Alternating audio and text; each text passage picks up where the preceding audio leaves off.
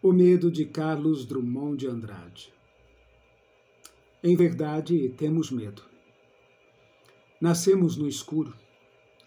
As existências são poucas: carteiro, ditador, soldado. Nosso destino incompleto.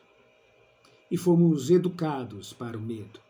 Cheiramos flores de medo, vestimos panos de medo, de medo vermelhos rios vadiamos somos apenas uns homens e a natureza traiu-nos.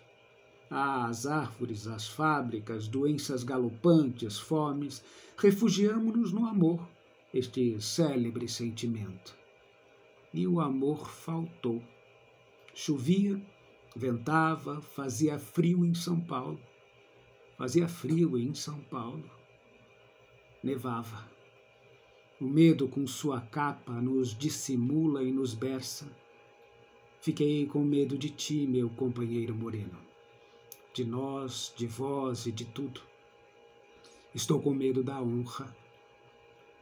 Assim nos criam burgueses, nosso caminho traçado. Por que morrer em conjunto? E se todos nós vivêssemos?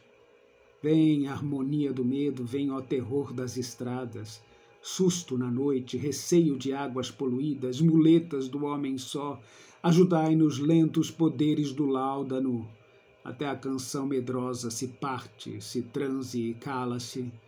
Faremos casas de medo, duros tijolos de medo, medrosos caules, repuxos, ruas só de medo e calma e com asas de prudência, com resplendores covardes, atingiremos o cimo da nossa cauta subida. O medo, com sua física, tanto produz carcereiros, edifícios, escritores, este poema, outras vidas. Tenhamos o maior pavor.